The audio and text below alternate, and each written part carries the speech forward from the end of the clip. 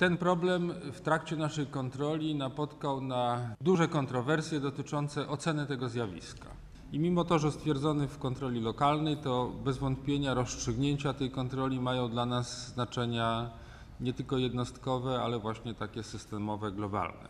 To jest kwestia tego, jak z jednej strony samorządy, które przecież pewną działalność gospodarczą prowadzą na rzecz obywateli, są postrzegane z punktu widzenia z jednej strony i wolności gospodarczej w całym naszym państwie, z drugiej strony y, pytania też fundamentalnego, jeśli chodzi o zakres zaangażowania sfery publicznej w działalność gospodarczą, no a z trzeciej strony też z punktu widzenia czysto obywatelskiego, bo to przecież obywatele ponoszą pewne koszty tego fun funkcjonowania i zaangażowania w tym wypadku samorządu w działalność gospodarczą, a z drugiej strony są beneficjentami tej działalności.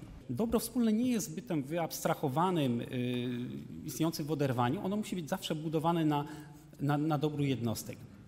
I w świetle tego można powiedzieć, że zadania publiczne, które powierza i które może powierzać ustawodawca zwykły jednostkom samorządu do wykonywania, muszą zawsze yy, polegać na realizacji dobra wspólnego. A zatem zaspokajanie potrzeb wspólnoty samorządowej musi być bazowany na dobru wspólnym, z kolei pojmowanym jako dobro jednostek. Pojawia się naturalne pytanie, o dobro których tu jednostek chodzi. Przecież y, dywergencja interesów y, jest czymś naturalnym, wynikającym ze współżycia ludzi w społecznościach. No w żadnej społeczności te ludzkie interesy, ludzkie potrzeby nie są, nie są zuniformizowane i to przez wielu przyczyn wynika.